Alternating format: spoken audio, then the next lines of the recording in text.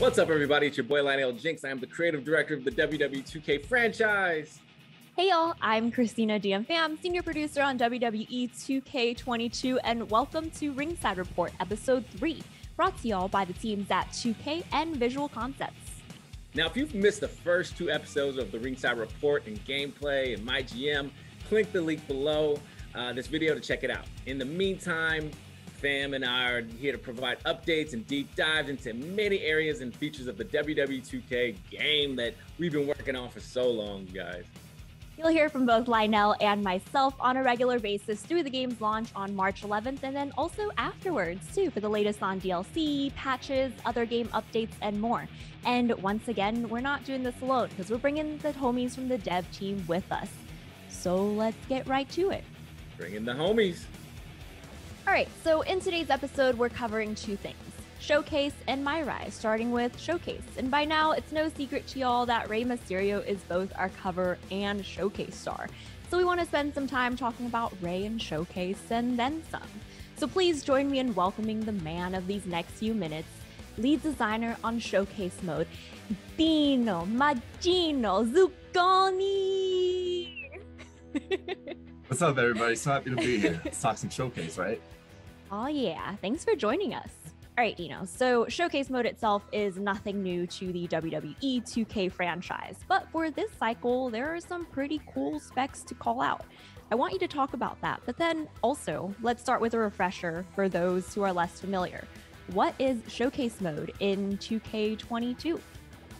You know, in the simplest form, Showcase is where we pay homage to the rich history of sports entertainment. You know, whether it's the biggest matches, most intense rivalries, the greatest superstars of all time. This is where we're going to put you into those boots and you're going to relive those moments. We do it with an objective guided gameplay system, and the objectives kind of guide you through the match and feed you into the cutscene where you're going to get even more action in each match. Awesome. So, if a player steps into these matches for the first time, they're going to see Rey Mysterio, obviously, but what can they expect throughout the mode? So this year we did a lot of changes to a lot of our old tricks, basically. We updated the UI for the objectives so that instead of kind of this do this move, we have Rey Mysterio kind of coaching you through, telling you what to do next, how to beat this opponent, what you want to try to strategize with. We also updated the looks so that each menu kind of carries the color scheme of Rey Mysterio's attire for each match. So it changes with every single match. Like I mentioned, we have these full motion video cutscenes now instead of just the gameplay data. So you're going to see full motion video now. We go into your cutscenes um, relive the action as it unfolded. Um, incredible fades done by the team, coming in, coming out. It's flawless. It's a flawless transition each and every time. We also have our rewards, like always. If you're winning the match, we're going to give you a couple unlockables. But if you go and complete all of the objectives, we're also going to give you a few more. This was done just so we can make it that you're not getting stuck or hung up if you don't complete every single objective. You can come back and try again to get everything on, a, on another play. Dino, you are hands down one of the biggest wrestling fans I know. Now, I know like what this meant to you because you had the very unique opportunity to work with the man himself, Rey Mysterio, uh, throughout this cycle. Can you talk about and, and share with the world what that experience was like for you? Yeah, I mean, first of all, this is a bucket list item that we worked with Rey Mysterio. Absolute legend. Uh, I've been following him myself since 1995. Uh, I've watched him since WCW, ECW days coming up to today. So, you know, we on the showcase team pushed really hard to make Rey Mysterio our guy. We wanted to do a showcase on Rey. We felt like he was, you know, the perfect dude. We get the attires, we get the the gameplay. You know, he's he's all action. It just seemed like the right pick. So getting to work with him was incredible. He was he was down to do anything we asked. We had him doing cutscene commentary. You know, he's he's telling you what he's thinking during these matches. He's telling you what he's thinking when when Kane's attacking him, when Batista's coming after him. You know, he was he was all for it. He was remembering what was happening leading into these matches. Had cool little stories. We gave him a really loose script so we could keep it as authentic as possible, and he did a great job filling in the gaps. For me, like you know, being your homie, like I think one of my proudest moments was like after the, after you worked with him, and then Rey he dropped into to one of our our team meetings, and he was like, Dino, what's up? And like remembered you and started talking. I was like, oh, like I wanted to cry for you, man. Like so, I- am happy for you, Dino. Yeah, it was it was absolutely great. He was so cool to work with, just so personable. Um, we had highs and lows during the shoot. You know, he's talking about uh, the Shawn Michaels match was the, the day after Eddie Guerrero passed. Got really heavy in that room. Then, you know, a few minutes later, he's talking about Dom. You can just see that fatherhood pride gushing out. It was just, it was cool to see all the ends of the spectrum. Um, working with Rey was just an unbelievable experience. And one thing it also mentioned to us too was that you had asked him to suit up for the day of the shoot, right? Yes, yes, that's right. Uh, we were trying to think of what we should wear for the videos, and I wanted to lean hard into the old Lucha Libre videos uh, from the 60s and the 70s. Just like out to dinner on a date, they got the mask on, there's just dressed to the nines, and Rey came in and nailed that look. Um, he didn't quite get what we were doing, but he hit the look perfectly. When I explained it, like he was, he was really happy that we were trying to honor Lucha Libre at the same time uh, as we're honoring him. I think he was really proud to kind of be the face of Lucha Libre for this, for the mode the game. Yeah, I think the thing that what you said that I resonate with the most when playing through Showcase is that it has a lot of heart, right? Like it just there's just so much personality from Rey and and the matches that that we we chose or you chose with Rey, right? So like uh, it, it just comes through, and you know I'm I'm so proud of everything you put together. And thank you very much. Like I, I, I just think we got a really good list of matches here. We have we have championship victories. We have big feuds. You know, we have Eddie Guerrero, Shawn Michaels, Batista, uh, Undertaker. We've, we've we've hit some good spots for Rey. I think we did a really good job covering. it. Before we go though, what's your favorite match in showcase mode? Oh man, that's so tough. You know, it's, I love them all the same, but a little bit equally. You know, they're kind of like my kids. Uh, I think for me, it's not it's not exactly the biggest match. I kind of like our Dolph Ziggler match. I think it's really fast paced. Uh, it's fun to play, and uh, we definitely have an Eddie Guerrero match in there that I think everybody's really going to love. Awesome. Well, Dino, thank you so much for joining us today to talk about showcase mode. Thank you very much for having Thank me. you. Dino guys. Latino Zucconi. Everybody have a good time.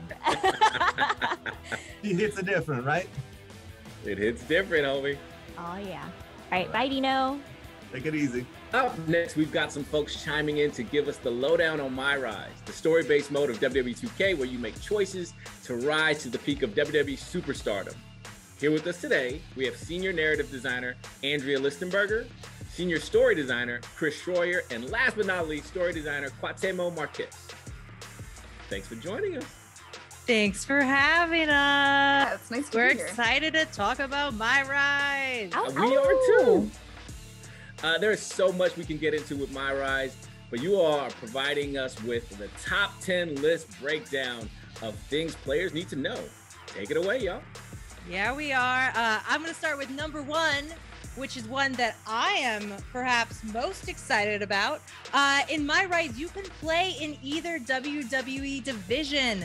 Uh, that's right. I'm talking about playing in the WWE Women's Division for the first time ever. We have a solo division uh, with our female superstars uh, with unique content that separates it from the men's division. And I'm not talking about superficial stuff. I'm talking about storylines as unique as the characters in each division themselves. Number two, you'll be playing across all three brands. You'll learn from the best at the WWE Performance Center. Define what kind of superstar you're going to be. Where you start your career really depends on the choices you make and how well you do in the ring. You'll have a chance to live your WWE superstar fantasies on Raw, SmackDown, NXT, uh, and you'll even have the ability to switch between all three brands along the course of your rise. Quatemo, what's next? Speaking of living out your fantasies, um, whether or not you start off as a hero or a villain in WWE, you're always at the center of your story. Um, and if you always want to put a little bit of a twist on your own story, you can also switch side. You can, you know, go bad or decide to choose different paths. Andrea, what about number four? in my rise, you can also choose between four different character backgrounds. Whether your character started off in MMA like Ronda Rousey, the Indies like Shotzi, maybe got a little football action in the pro athlete path like Roman Reigns, or an actor like The Miz. You know, you get to decide your character's path. And that's really cool because each of those backgrounds has some unique story content and influences the path you take over the course of your WWE journey as a whole. Number five, we have had over 1,000 playable matches. That is 1,000. One, three zeros. Next is number six.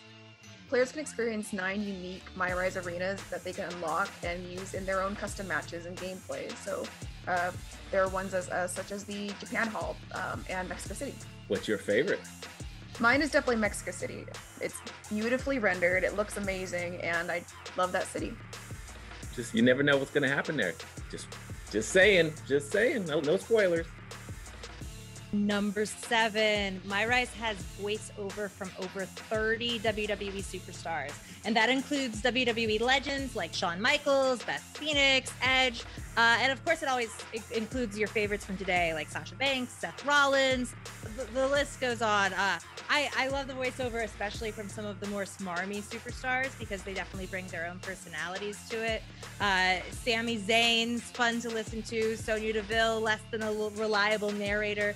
And uh, Drew Drew Gulak is a, a metric hoot and a half. So we got some good personalities uh, reflected in our game. All right, number eight. My Rise is going to be packed with choices and decisions that are, are going to inform your playthrough. And this is going to include things like rivalries, where you're going to make different decisions from the next person who's playing it. And you're going to have a totally unique, different experience just to yourself. So who you choose to go after, who you choose to spare, uh, that stuff matters. Next is number nine. Um, we really wanted every match to feel like a live event, so uh, we went about recording over 3,000 voice lines with your favorites like Saxton, Corey Graves, and Michael Cole. So they've got their own My Rise commentary just for you. Andrea, let's uh, let's do the best for last. Oh, the best for last? The best for number 10? Yeah. Uh, I could do this because this this fact pretty much speaks for itself. My Rise between the men's and women's division storylines has over 50 hours of gameplay time. Boom, mic drop. In the first part of the Ringside Report, we had Dino from Showcase on the show. Before he left, he had a question for you all about My Rise. Hey, Team My Rise. As you know, I've been a little busy with Showcase, so I'm just a little curious. Like, what kind of choices do I get to make in uh, My Rise this year? Am I going to be able to go from a good guy to a bad guy? Can I chase some championships? Maybe I get to join a faction or something? What's the deal? Let me know. Well, Dino, uh, I, I think the big thing about my rise is that you know if we had one guiding principle, it, it would be choice. Like you have agency this year to decide where you start. You have agency to decide if you're a protagonist or antagonist. You have agency even to decide the order in which you play these various storylines and challenges.